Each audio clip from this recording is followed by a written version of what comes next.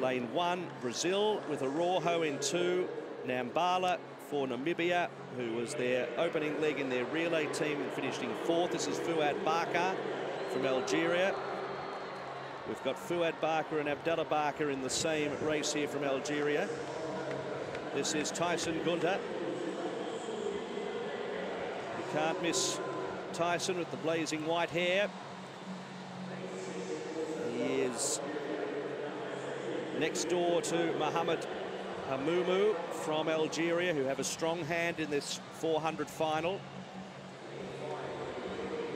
World record holder Mohamed Amguoun, third in this event in London, and is the reigning world champion. And he met Johannes Nambala in the World Championship, so Nambala with a score to settle. He was the world champion in 2013, this man Nambala. Silver medalist here in the 100 is Henrique Araujo. Qualified at a time of 50.09. Can run quicker. His personal best of 49.66 will at least see him in a mix for a bronze. And Markeith Price from the USA still on the improve, the 26-year-old.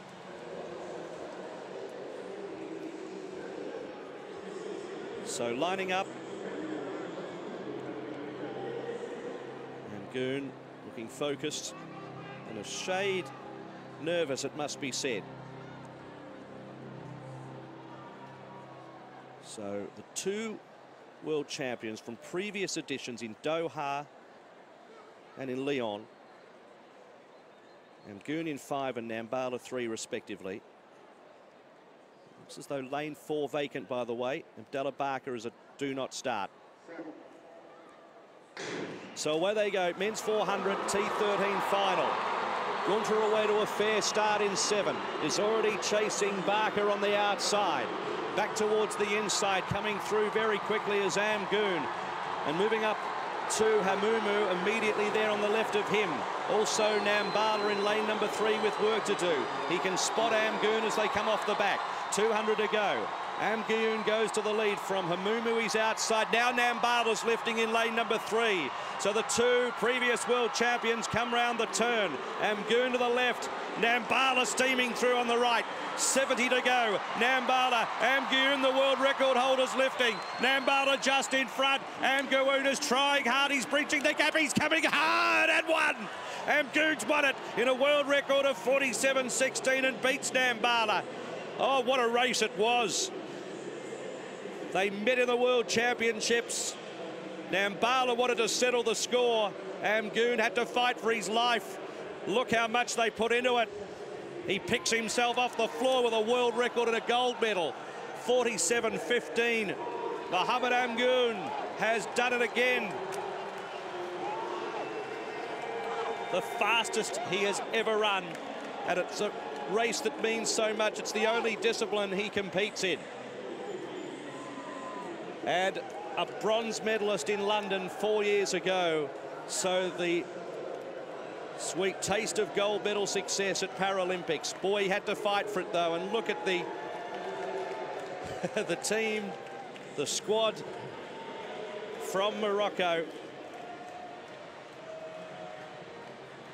Well, that's what it's all about. A magnificent race between these two. Charging against each other over the line. Both inside Amguoun's old world record, and Hamoumou in third wasn't very far off that either. Great respect between these two superb athletes. The gold for Amguoun in Morocco. He had to destroy his own world record, almost three quarters of a second off that in the 400 meters in order to get the gold. he's so excited. He's avoiding journalists. He wants. Ah, this is what it's all about. Ah, there well. you go. The family, the entourage. They're delighted, the Moroccans, and so they should be. There's a real cluster of them just below the media tribune here. There'd be 15 or 20 of them. And you can see what it's taken out of him. But he got a, a good start. His run down the back was impressive. And I thought Nambala was battling at one point, but didn't he run a Ben Nambala? And Well- he's put himself in calculations here, and in the end, it was just a final thrust to the line. What a blinding finish, and I just getting out in front right at the end. Amguoun with Nambala leading with still 10 metres to go, but Amguoun had enough of the momentum. They both charged towards the line and threw themselves over it.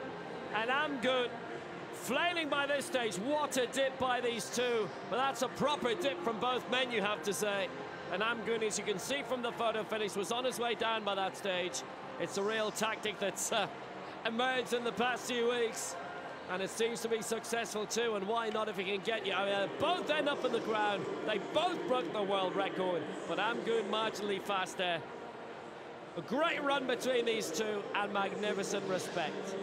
And full credit to the Algerian as well, Mohamed Hamoumou in third place coming in as a bit of an